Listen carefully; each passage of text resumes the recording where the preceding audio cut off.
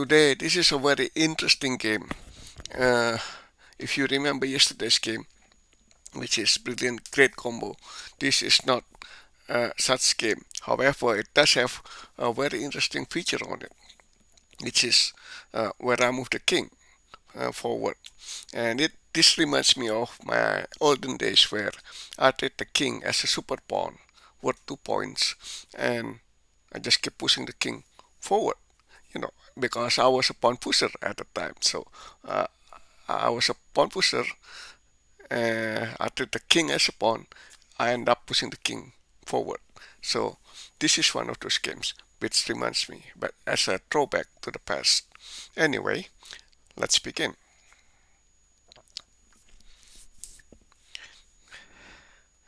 This is Philidor's defense. Other variation so that's a unique thing over here. Uh,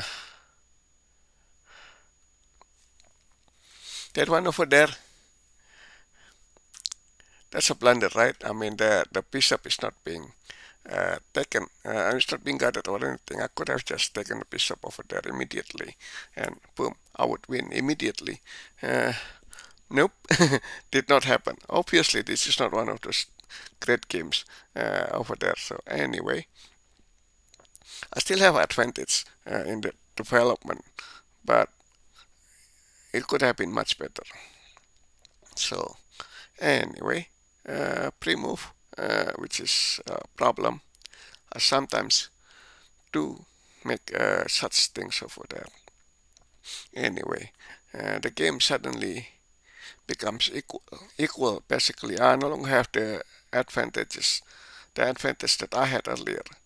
However, with this one, I gain some of it back. Still, it's uh, you know only little, only a little bit over here, so it's not basically uh, something that's good. Anyway, next move. So, so basically just keep trading over here. Now this is actually a bad thing for me because uh, if uh, the bishop takes the knight I can only do it with the pawn over here. So I can only capture with the pawn and then it becomes a big hole over there. Oops, then it becomes a big hole over there that uh, the queen can, you know, can take advantage of it and rook can take advantage of it over there, over there. So, so this is not a good situation for me over there. Anyway, next move.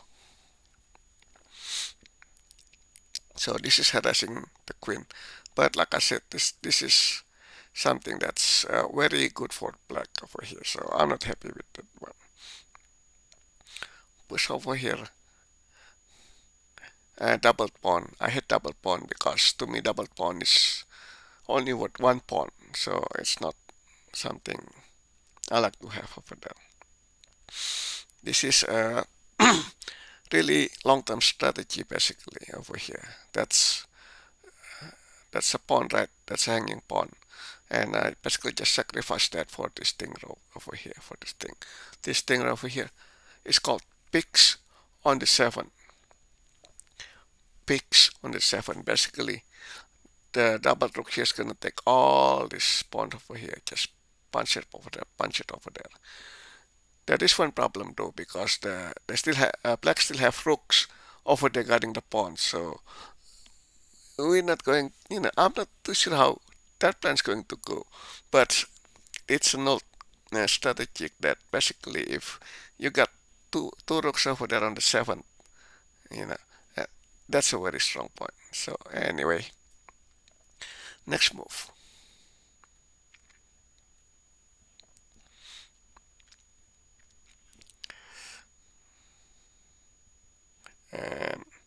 Secure the point. So this becomes a so, uh, lock solid position. I don't have to worry about this position anymore.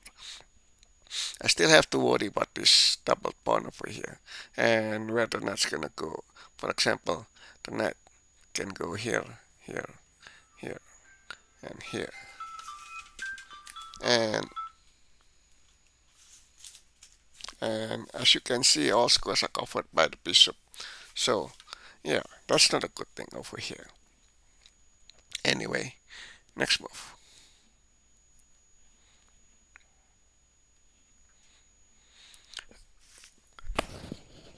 So black is trying to get some activity uh, go up over there.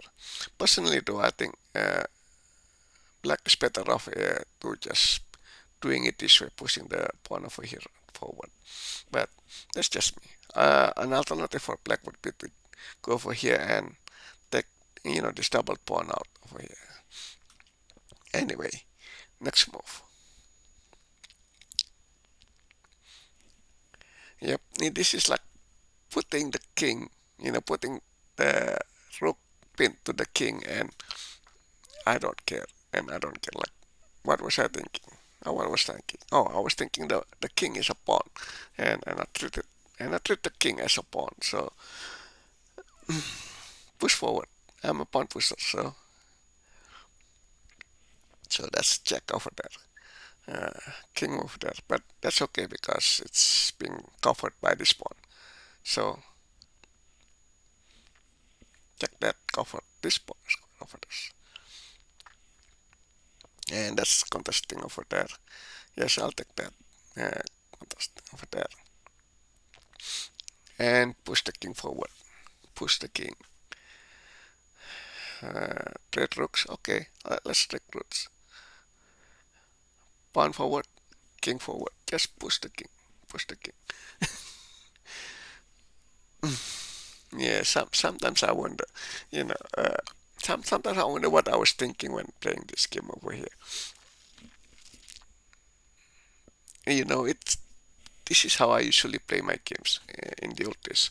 This is how I usually play my games. I, I would push the king. Yep, like that. And I don't know why the bishop moves there. Uh, that's weak uh, if you want to but the only thing is if you want to basically solidify the position over there but that's actually really weak yeah like I said and the rook is better off attacking this double pawn so, so attack the bishop and and the king. Move forward over there and this is the combo. This is the beginning of the combo. The king has just moved to g6 what should I do?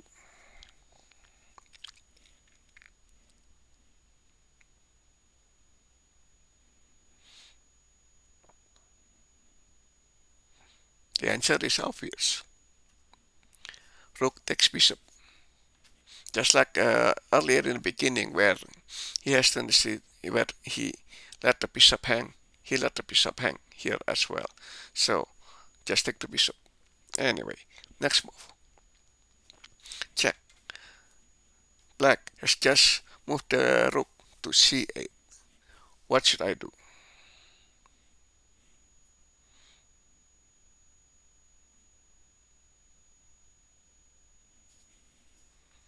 Obviously the aim for the rook is to take the pawn so I want to take another pawn as well so this is what I did.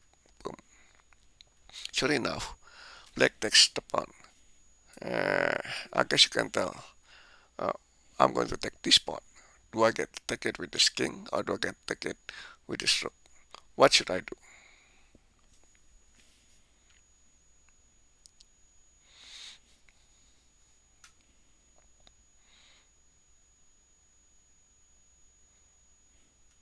I take it with the king.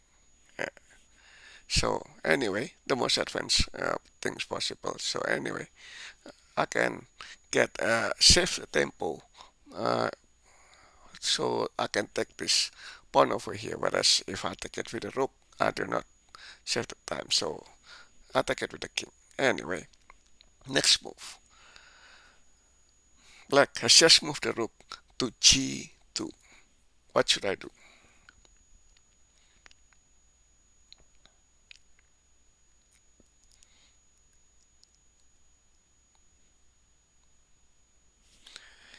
The goal of this uh, move rook is basically to protect the pawn because the king cannot basically go here.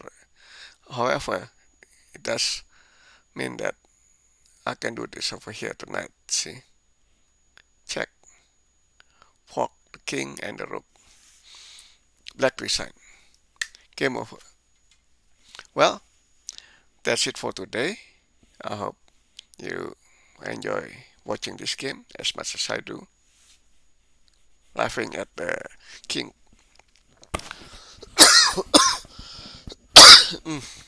Laughing at the king pushing so far forward that that is ahead of every that, that is ahead of every other pieces right here like like that the king is the most forward piece of the board so yeah anyway thank you for watching and I'll see you tomorrow